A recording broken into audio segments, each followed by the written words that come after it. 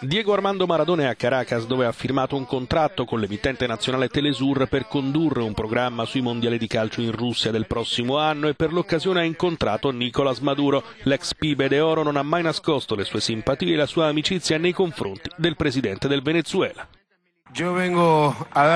Sono qui insieme alla mia famiglia per portare il mio supporto a Nicolas. Sono in Venezuela solo per poche ore, ma questo tempo lo porto nel cuore. Come sempre, siamo tutti soldati di Maduro. Siamo tutti soldati di Nicolás.